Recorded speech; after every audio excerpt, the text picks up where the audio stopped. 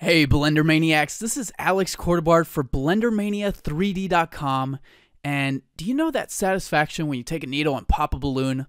Well, that's the exact same satisfaction that we're going to have creating these awesome cloth simulations in Blender.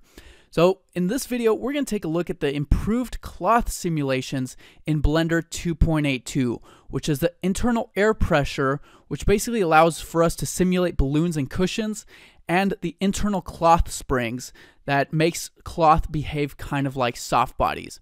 How cool are these effects right here? And again, like I said, very satisfying and fun to do. So let's get right into it. I'm going to open a new Blender file and just start off with a UV sphere. So Shift A, add a UV sphere. I've basically added three materials to it so that it looks like a beach ball and added a plane. All right, with this basic setup, let's get right to it.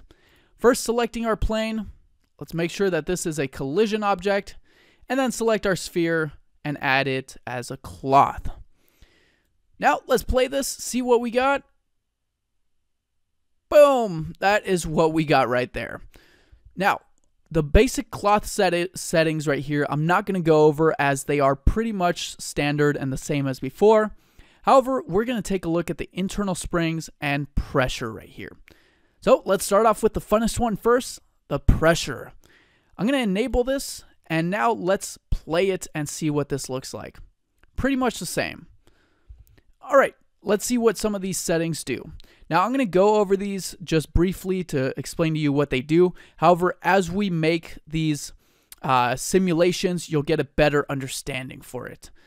Now, the pressure right here is the pressure applied to the whole mesh, basically. This is kind of the pressure or the air pressure inside your mesh. You could have this as a positive value to have it inflate or a negative value to have it deflate. Right here, the custom volume and the target volume work together. So you have to enable this to get the target volume. And basically, what this does, it's the volume inside of the mesh. The higher the volume, the higher the volume inside of your mesh when it starts. Again, you'll see it better when we start to create the simulations. And then the factor right here is basically the air pressure scaling factor or the strength or the multiplier. So the higher this number is, the more it increases or strengthens or multiplies the pressure value. And then we got vertex groups, which is pretty self-explanatory. You could set where on the vertex groups this is uh, put, which is really fun to do as well. All right, let's get right into it. Create our first little simulation here. Before we do that, however, I'm going to hit Shift D and Y and copy this over so that we have it for our second one. Now with this one, what I want to do, I'm going to bring these down a little bit. What I want to do with this one is I want to make it have a negative pressure. So I want to suck the life and the air out of our beach ball. I'm going to put the pressure to negative 5. Now let's play this, see what that looks like. Boom, it's completely imploded on itself. Now it's a little bit extreme. What we could do is decrease the factor value. Again, the factor is kind of like a multiplier and it increases the it increases the pressure strength or multiplies it. If we put this to let's say 0.2 and now play it, you can see it's a little bit less intense, which is exactly what we want. So there we go, we have it doing that. How cool is that? Now, what I want to do is let's animate this so that it deflates and then inflates back up right away. I'm going to play this, go to frame 30 or so, and with the pressure right here, I'm going to hit I to insert a, uh, insert a keyframe, and on the factor, hit I to insert a keyframe there. Then I'm going to go to frame, let's say frame 50, and let's put this to a positive value. So what this is going to do, I'm going to put 5, I to insert a keyframe, and leave this at 2, and just insert a keyframe for that.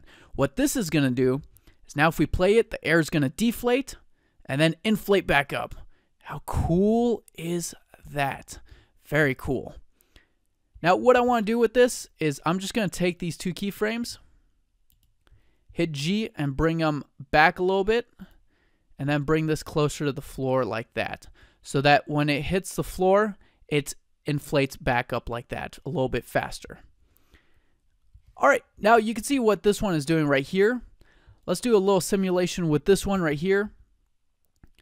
So this one kind of deflates and inflates right away. This one right here, we're going to make it deflate like that. Let's make it deflate a little bit more. So with the pressure, I'm going to put the pressure to negative, uh, let's put it to negative 1, see what that gives us. And if we play that, negative 1 is a little too much, so I'm going to put it to negative 0.1. And there we go. And I'm going to increase the factor to, let's say, 4.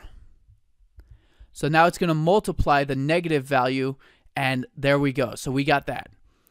Now with this one, again, I'm going to play it, let it bounce a little bit, insert a keyframe at frame 50, I, I, and then let's go to frame 70, and let's increase this to a positive value of 5, and hit the I key. Now, because the factor is a value of 4, it's going to multiply the 5 quite a bit, so it might be too intense, but let's check out how it looks. And there you go. How cool is that? So it looks like our ball deflated and then got inflamed a little bit or inflated a little bit. Very, very cool. And if you put the factor down, it will have a less intense effect. All right, let's take a look at another one. With this next one, we're going to take a look at kind of like a popping effect. So if you were to pop a ball, I'm going to select this one, hit Shift D, and copy it over on the Y axis. And with these two keyframes on that last ball selected, I'm going to select them, X and X, and delete the keyframes with my mouse hovered over there. So right now we got nothing on this ball. Oh, and look at that, how fun. I'm going to make the floor a little bit bigger. All right, so with this one, I want it to bounce like that. But I want it to be inflated more. With this, I'm going to increase the pressure to 1 and put the factor to 1 as well. Let's see what that gives us. Boom, there we go. And I kind of want the pressure to be a little bit more, so I'm to put it to 3. All right, cool. So now we got that. Let's go to frame Let's go to frame 60 or so. Hit the I key on the pressure. And let's hit an I key on the factor just in case we mess with that too. And let's go to frame 70. And we're going to make it look like it popped or got poked by a sharp needle. Put the pressure at negative, let's put it at negative 5, make it pretty intense. Hit the I key to insert a keyframe and the factor as well. And now let's see what we got with that. It bounces, and then boom, gets popped.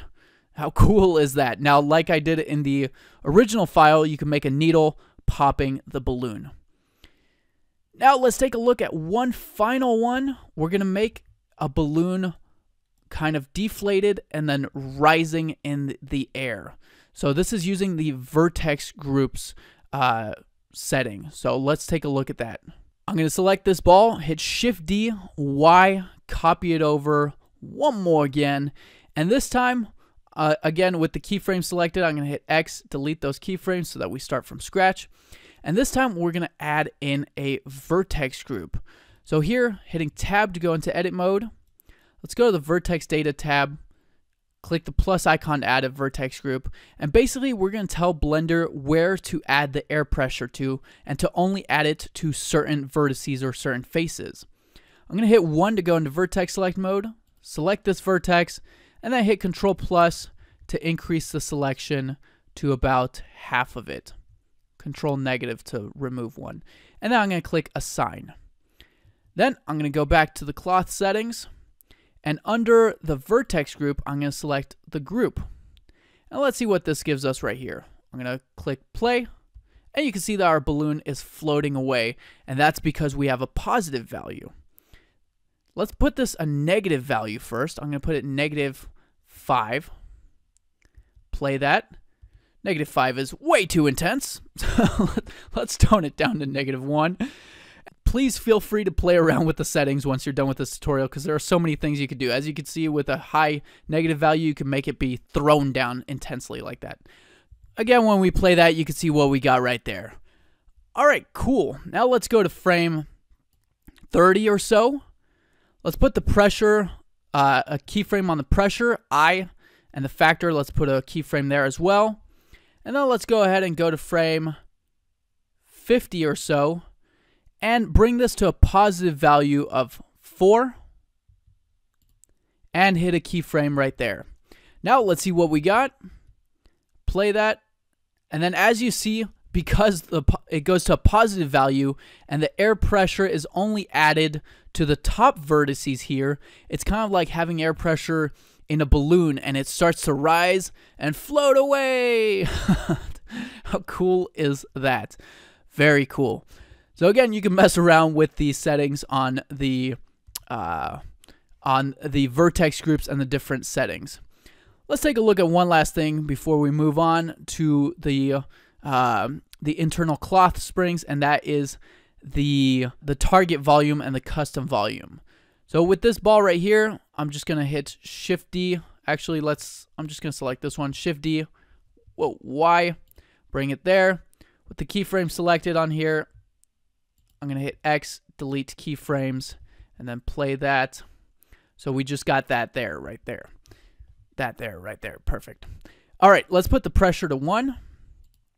And let's see what that looks like with just pressure at 1.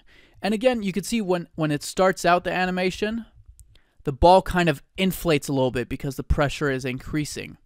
If we put this pressure to, say, let's say 7, you can see that the, the ball expands quite a bit because the pressure is so intense. All right, I'm actually going to put this pressure to, let's say, 0.1, just for demonstrating the custom uh, volume right there. All right, now we could select the custom volume. And if it's a value of 0, it's not really going to do much. So let's put this to 1. And now let's play this right here. And you can see that right now at a value at a value of 1, that volume looks like that. However, if we put the volume to, let's say, 5, you can see that the volume looks like that. Let's put it in between. Let's put 2.5. And again, this is kind of like the initial volume of the ball or how much air is in there. So now you can see we get that kind of effect, which is kind of like a beanbag cushion type effect. So you can see what those different values give us uh, using the custom volume on the pressure right here. Very, very cool. So again, you can get some many, many different cool effects. These are just a couple that we did here, but please, by all means, mess around with this new setting for the pressure under your cloth. And of course, you can mix it up with all these different settings here as well. All right, with that, let's move on to internal springs, which will be a little bit faster. I'm going to hit Shift A, add a mesh cube. Let's bring that on the y-axis over here. I'm going to bring it up and copy the plane over so that we got a floor. All right, then with the cube, I'm going to hit tab to go into edit mode, right click, subdivide, three, four, five times, and there we go. All right, under the cloth, let's select cloth and rewind it and play it. So that is the cloth with no internal springs. Brilliant. All right, now I'm going to hit Shift D, Y, copy this cube over. I'm going to turn on internal springs and let's see what that gives us now. And boom, check it out. Our cloth kind of acts like a rigid body and it seems like it has some springs inside. So right here, the max spring creation length over here is basically the maximum length of the internal of the spring that's inside the mesh. And if the distance is longer than the number here, it doesn't get applied and doesn't create a spring. And zero means that there's no length for the spring and it's infinite. So right now it's set to zero. Let's set this to something like 0.5. And now you'll see the effect that does right here. It has a little bit of a spring to it, but not much. Let's put this maybe to 3 and see what that gives us. And now this is going to give us a little bit more of a spring so it doesn't squash down as much. That's a little too intense. Uh, let's try 2. And you can see what that gives us right there. It had a little bit of a spring and a bounce to it right there. Now the max creation is basically the diversion or how much it the springs divert from their original path along the normals. So kind of how much it bends in whichever direction. Let's put this down to something like 30 and see what that gives us right there.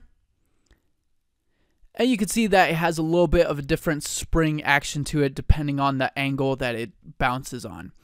I'm going to put this back to 45. And then we got the tension stiffness right here, which is basically how much the material resists to stretching, and the compression, which is how much the material resists to compression. So right now, if we play it, we got that right there. However, let's put the tension down to 1 and see what that gives us. Boom, you can see it's a little bit different. And the compression, let's also put that to 1 and basically compresses a little bit more. Now, right here, we also have the max tension and the max compression. We could play around with these settings and put these down as well to decrease the compression and the tension settings. Now let's go ahead and actually decrease the spring right here to 1 so that has less of a spring. And you could see what that gives us right there. How cool is that? And then you could play around with the compression depending on how much compression you want or how much you want it to resist. So if we increase this, it's going to compress a lot less. And you can see that the max compression is changed as well at the same time. And you can see what that gives us right there. It's compressed quite a lot less. And then, of course, we, you could increase the tension right here, which is basically the stretching of the mesh and how much the material is resisted resistant to stretching. So again, you could play around with these different values. I'm going to increase it even more. Let's just increase it to like a, a ridiculous amount right there. And you can see what that gives us. Boom.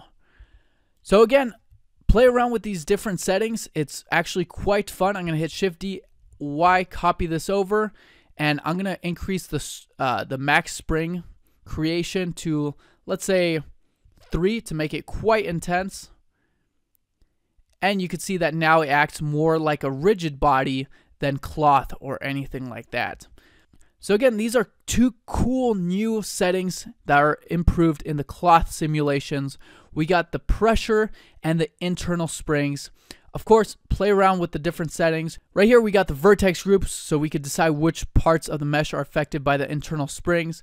But the funnest and most productive way of doing it is just play around with the different settings that I've just shown you and you could see what kind of results you get.